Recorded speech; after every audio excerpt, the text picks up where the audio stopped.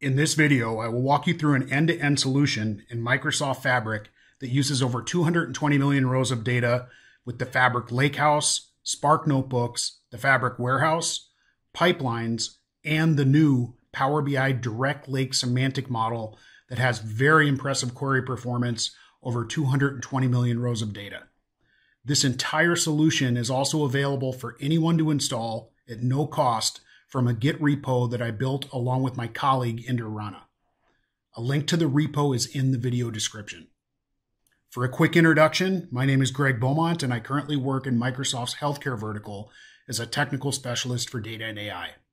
The data used in this video is 220 million rows of real open source data from CMS the Centers for Medicare and Medicaid Services. The data is for Medicare Part D prescribers by provider and drug. A link to the source data is also provided in the description of this video. OneLake within Fabric is a software as a service data lake. You don't need to have access to an Azure subscription. You don't need to deploy the data lake. You can just start using it in a Fabric workspace once you are granted the appropriate permissions by your admin.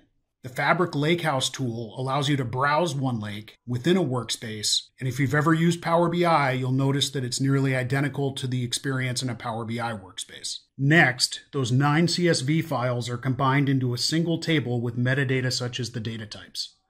A Fabric Spark notebook was used in the repo, but you could also use other tools. If you're an Azure Databricks customer, you may want to use Databricks for this step. You can browse the Fabric Spark notebook in the Git repo. After downloading it and uploading it to Fabric, you can also browse it and run it in the Fabric workspace. The result of running that notebook converts the data to Delta Parquet format into what is referred to as a table within Fabric. You can now browse that table and review the metadata. If you're in a hurry, you can go ahead and build out a direct lake semantic model over that flattened table of data right away. But the repo offers another step to transform that data into a star schema design for optimized query performance. To build the star schema design, there are two options in the Git repo. First, you can use the Fabric Warehouse to create views that represent the star schema tables. You can see here that the SQL queries were converted into views. Next, you can use Fabric Pipelines, which is the same pipeline tool that you'll find in Azure Data Factory, to populate the lakehouse using those views. As a second option, there's also a Spark notebook in the repo that does the exact same thing. I personally prefer to write SQL queries, and my colleague Inder prefers to write Spark notebooks, so we went ahead and built out both options.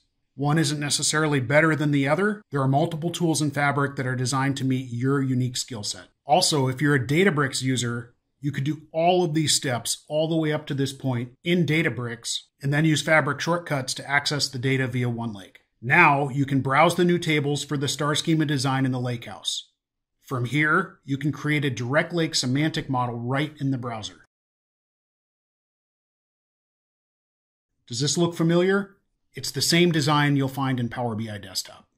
Drag and drop your table relationships, configure the metadata, and add your DAX runtime calculations by pasting them in from the repo.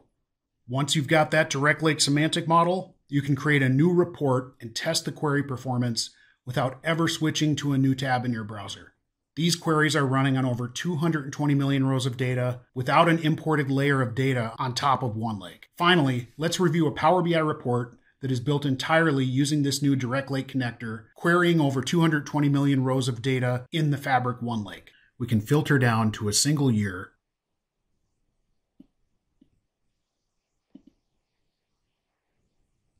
at which point everything on the page will filter down to just the year 2021.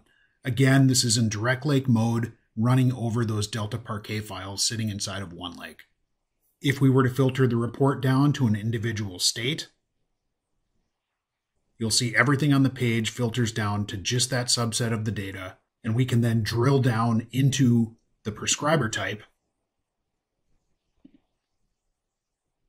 and queries will run so that we are looking at just nurse practitioners in the state of Alaska for the year 2021 and you can then click on a single nurse practitioner in order to see what their prescriptions were for that year that were billed to Medicare Part D. Again, you can recreate this entire solution yourself using the Git repo link provided in the description. Feedback and discussion is welcome in the comments, and it would be great if you could subscribe and like this video.